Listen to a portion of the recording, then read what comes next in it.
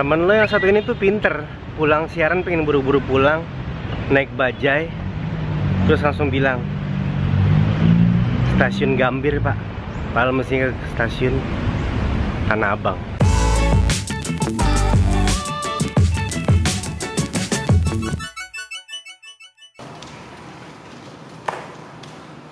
5 April 2016 Hari ini juga uji coba pencabutan uh, peraturan 3 in 1 ya. Untuk kali pertama Biasanya kan kita kalau nunggu 3 in 1 tuh nunggu libur Sabtu, Minggu baru nggak ada Atau ada acara acara-acara keren seperti tahun baru segala macam Atau acara demo. Tapi yang jelas 3 in 1 ini kalau kita ingat sebenarnya itu adalah sebuah kebijakan yang sudah berlaku lumayan lama loh.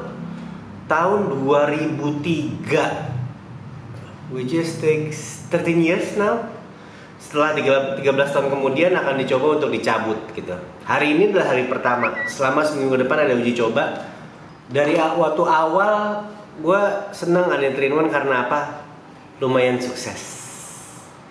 Kemudian munculnya ada joki 3 in 1 nggak lama kemudian nggak nyampe 3 bulan 4 bulan udah ada konsep joki 3 in 1 Kemudian nggak lama kemudian train one dibikin pagi dan sore karena adanya lajur Transjakarta. Tujuannya apa? Untuk mengurangi volume mobil di jalan Tamrin uh, jalan protokol.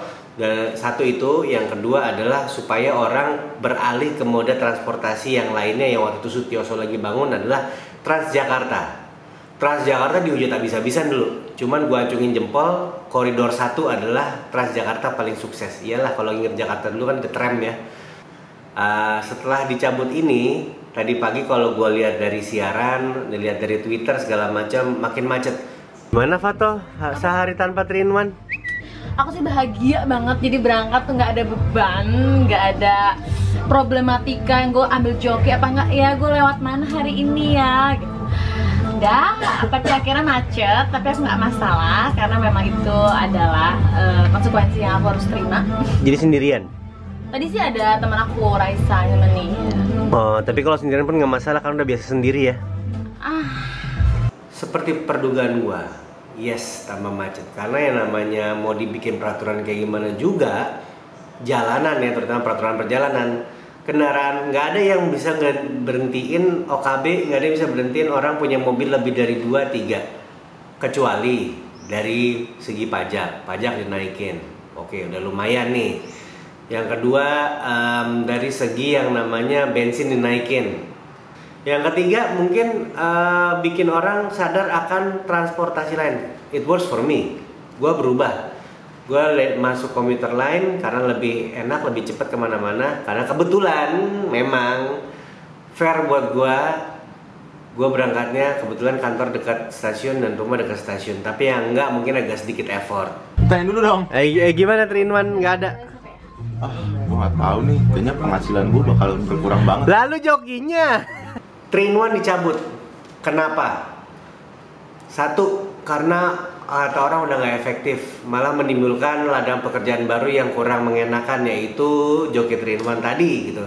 Yang kedua uh, kata Trinwan dicabut untuk mengurangi yang namanya uh, soft criminal. Bukan soft criminal sih. Kayak uh, tingkat perdamaian dengan aparat itu dapat ditekan gitu kan. Banyak orang yang juga masih nekat. Yang ketiga adalah ini sebenarnya Trinuman dihapus adalah karya tadi itu ada yang namanya ERP Electronic Road Pricing. Katanya mau dipakein Electronic Road Pricing seperti yang kita lihat di Singapura.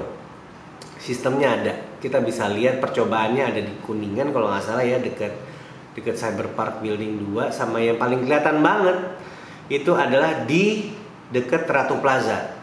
Pas begitu masuk Sudirman di lajur paling jalur lambat di dua lajur yang paling kiri itu itu ada kayak gate. Kalau malam warnanya ungu. Pokoknya kalau Ayla lewat situ malam-malam dia pasti selalu bilang disco time. Uh, tapi kalau memang ada electronic pricing gue setuju. Selama maintenance-nya oke. Okay. Sejauh ini e maintenance-nya oke okay kok. Nggak seperti sahibul hikayat Indonesia kalau bikin sesuatu canggih tapi maintenance-nya bobrok gitu. Kalau lu sendiri hari ini lewat nggak Sudirman Tamrin? macet apa enggak? Tambah lancar apa enggak? Apakah malah orang dengan ditiadakannya 3 in 1 yang tadinya satu mobil berlima sekarang dipecah malah jadi naik lima mobil masing-masing nyetir satu-satu? Bisa jadi. Last bit. Kalau misalnya lo sekarang lagi di tengah-tengah kemacetan, terutama kemacetan gara-gara 3 in 1 dan lo lagi nyetir sendiri, kemudian mikir kok kayaknya mubazir banget ya gue bawa mobil gue sendirian gue tengah macet dan gue ngomel-ngomel soal macetnya Jakarta tapi masih aja doyan lewat macetnya Jakarta. Itu ada yang perlu pertanyakan. Kenapa? Kantornya lo nyalain kantor? Boleh. Kantor kan bisa dipindah. Lo nggak harus kerja di situ. Memang. Memang nyari kerjaan itu susah. Cuman kalau emang kerjaan lo di tengah Sudirman macet gara-gara 3 in 1 kemudian lo nggak suka kerjaannya coba tanya kenapa lo masih di situ? Soalnya gue. Resign ah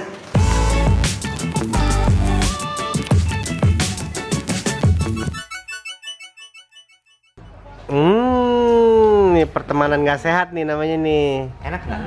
Belum dicoba masih Ada utuh gini bentuknya. Oke, ya coba.